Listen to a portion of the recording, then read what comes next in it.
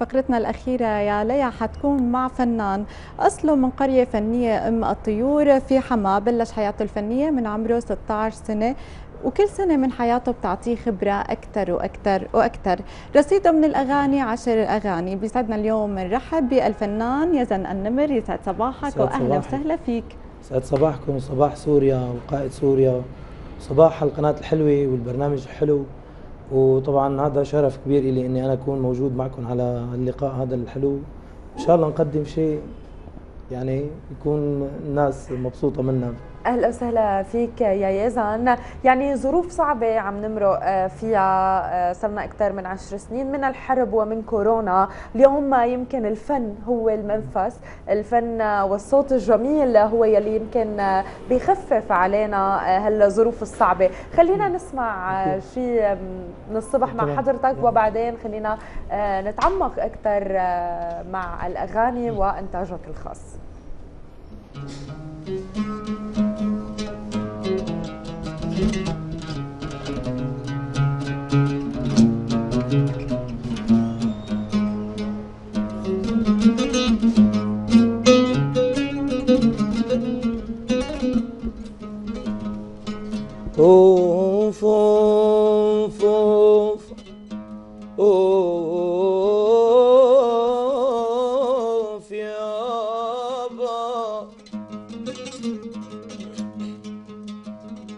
عدر بالمجد يا بلادي.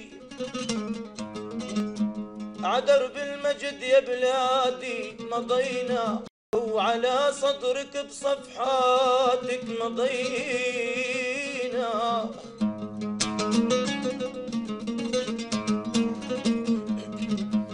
ولو حاضرنا بيعرفنا حاضرنا بيعرفنا اسود وغابنا أرض العرايا يا با يا باي يا باي يا باي. أول حرف باسم بلادي حرف السين سيوف جدادي. حرف الثاني واو الوحدي. يلي جمعت شمل بلادي.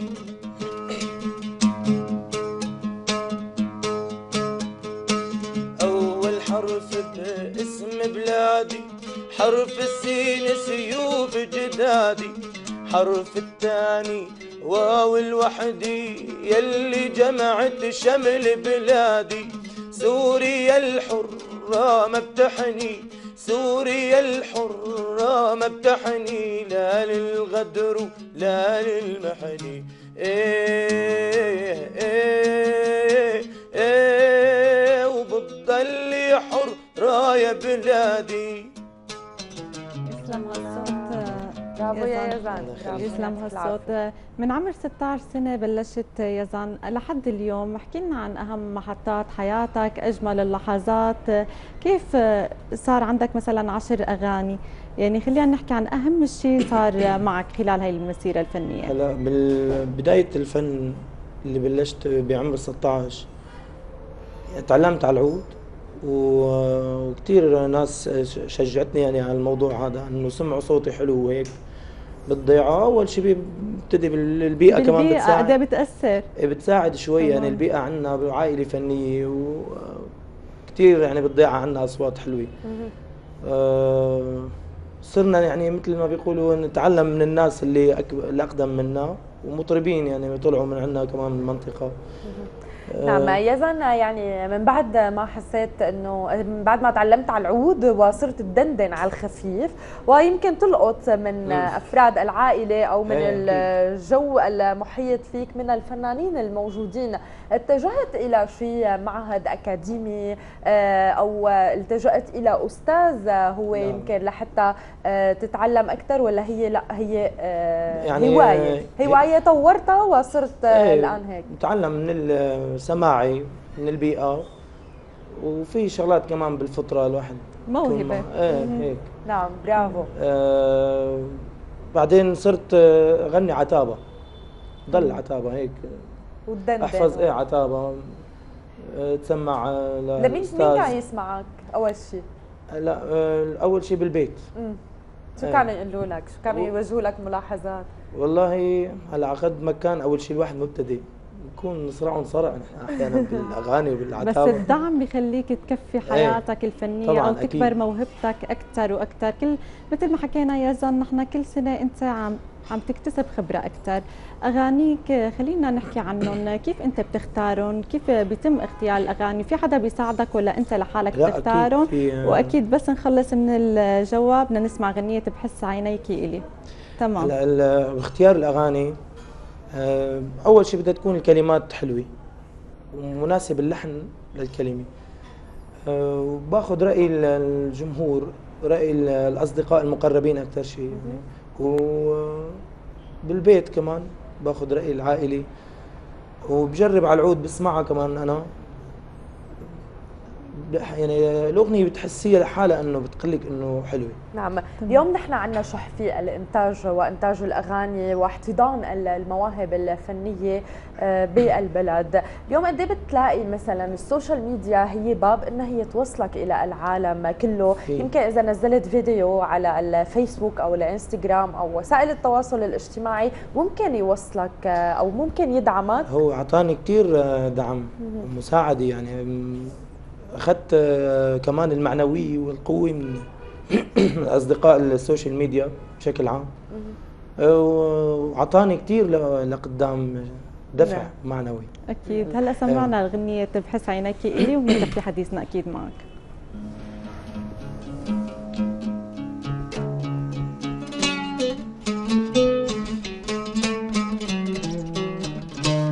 طبعا هاي الأغنية من كلمات الشاعر سلامي عمار. والحان يائل البشلاوي.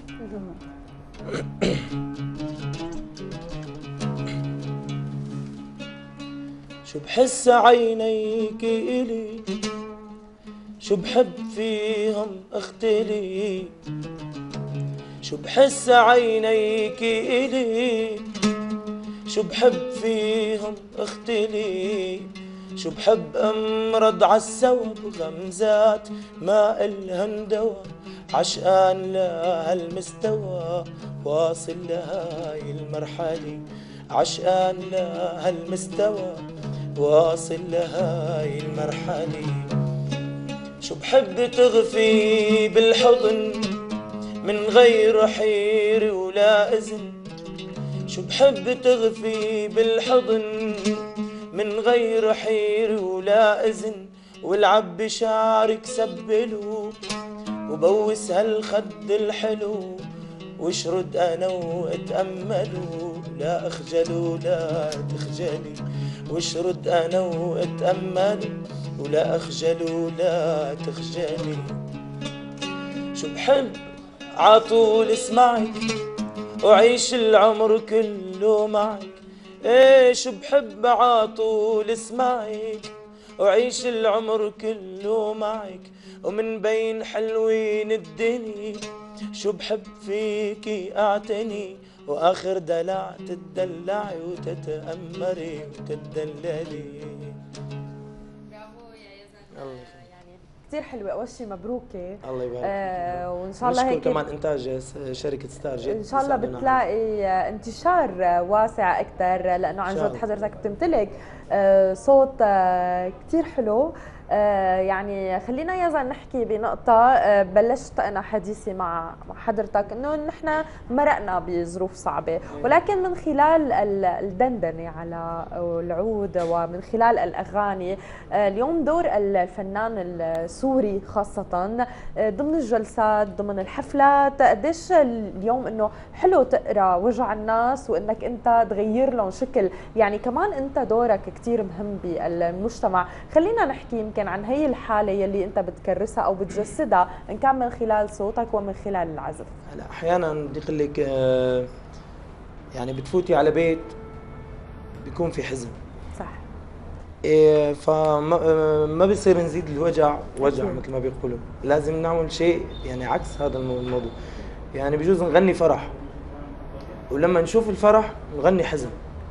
يعني هيك وهيك. كل شغلة بنعمل عكسها. وبتلعب دور كثير يعني الموسيقى والفنان إنه يبين كمان الصورة اللي عايش هو فيها. البيئة والوضع بشكل عام يعني. وسوريا والله يرحم شهداء سوريا كمان أثروا كثير على الشعب وعلى الناس. أكيد. الله يرحم أرواح الشهداء آمين أكيد. يا رب. الله يرحم أرواح شهدائنا. آه، يزن بالختام. آه، بدنا نسمع شيء لسوريا. نهديها من الصبح آه، من يزن النمر. تفضل. طبعا هي الأغنية كمان كلمات الشاعر سلامي عمار. ألحان الأستاذ عادل خدور للشهداء يعني طبعا.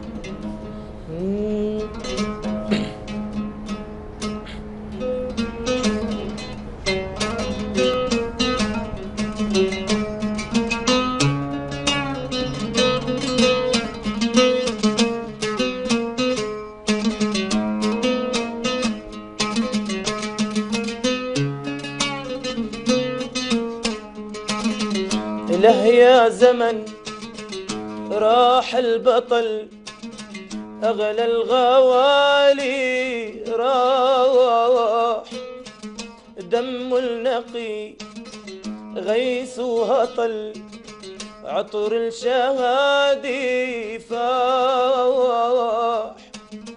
راح التقي يا سنين الكل كرامي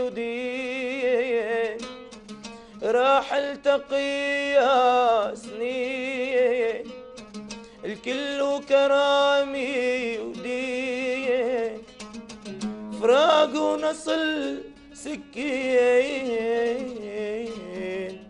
ما يوم بيركب يعطيك ألف عافية. أكيد المطرب من الصبح دائما بيكون عنده في تعب كثير في تعب إيه. بس ما بدنا نقول العذر لأنه بيقولوا هي عذر الفنانين دائما إنه لا أكيد نحن, نحن بنعرف هو الصبح في مشكلة. وبيجي فجأة هيك ما نعم. أكيد بنتمنى لك كل التوفيق يا زان بنتمنى لك أكيد النجاح والانتشار والشهرة أكثر وأكثر وأكيد نحن بدنا نتابع ونسمع أغانيك كلها الجديدة وحتى القديمة وكل حدا يعني عم يتابعنا اليوم. أكيد تابعوا الفنان يزن النمر شكرا لك. شكرا. شكرا كثير يا يزن.